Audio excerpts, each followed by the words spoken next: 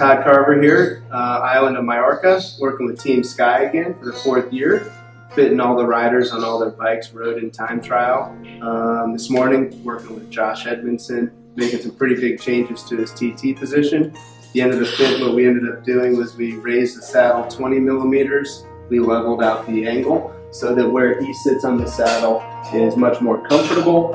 Um, and then we brought his sticks out 30 millimeters to give him an appropriate reach. Um, before we did that, he was really just all cramped up on the bike.